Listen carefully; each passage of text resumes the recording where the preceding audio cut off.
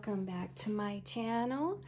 So uh, yeah, I know it's been a little bit since I've done a video, but I just had to take kind of a break and regroup and do some diamond painting for a while. Just, you know, refresh the uh, coloring creative mind, so to speak. Um, but anyway, so I am back to do a video and I thought we would do one out of Kerby Rosanes Mythic World.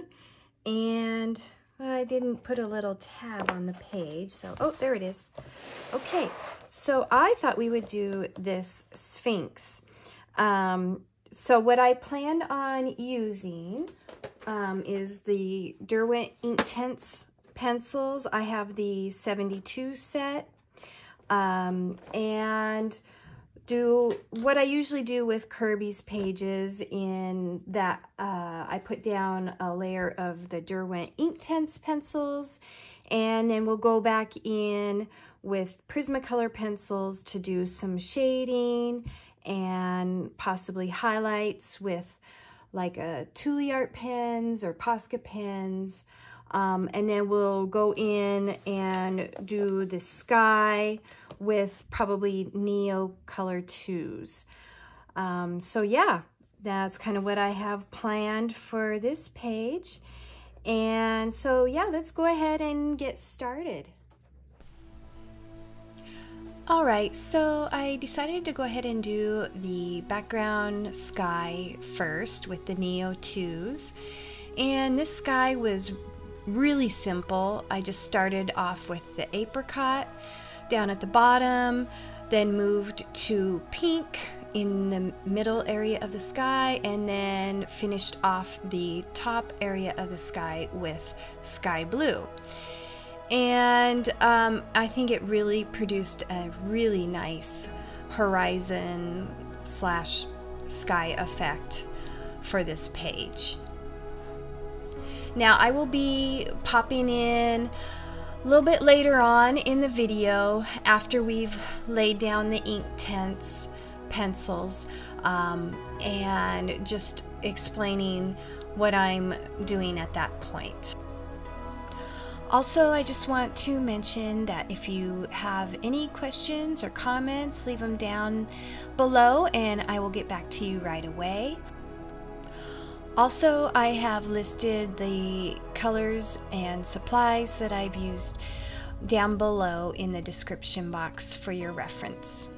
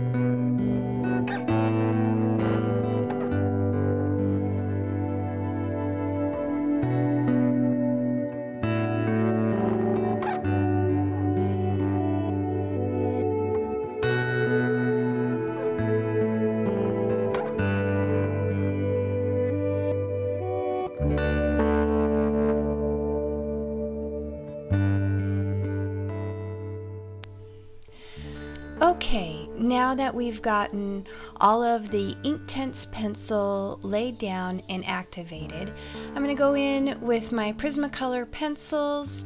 Um, here I'm using sepia for this portion of the page and just darken up those shadow areas uh, to give it a little bit more of a realistic look.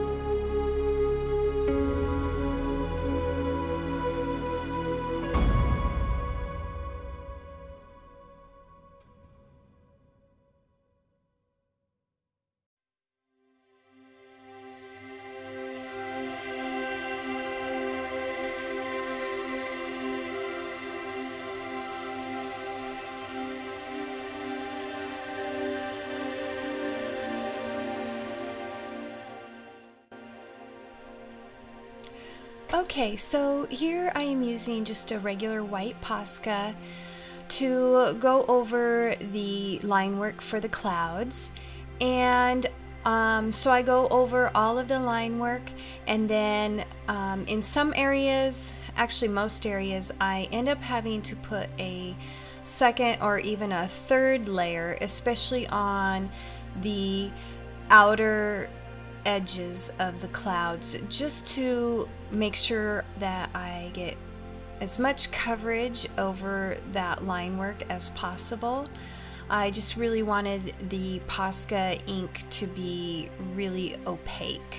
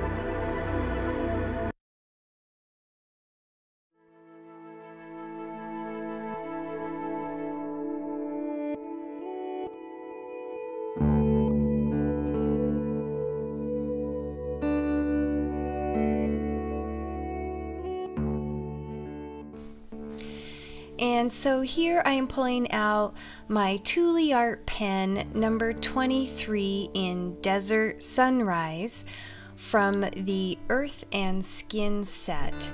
It's just kind of a nice um, goldish yellow color that I use for the highlights in her hair and the mane. Um, and that's the only Tooli-Art pen that I end up using on this page. And um, so if you don't have Tooli-Art pens, you can certainly just use your white Posca. Um, that would look just fine.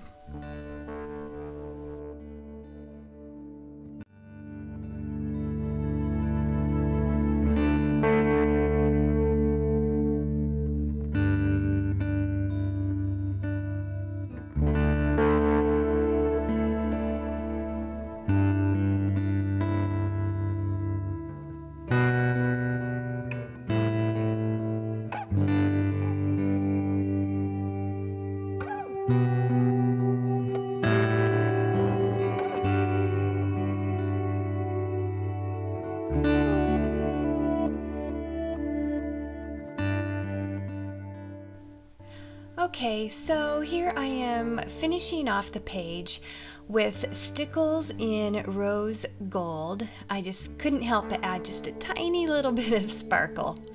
Anyway, you can certainly substitute that with a different color of stickles or glitter gel pen.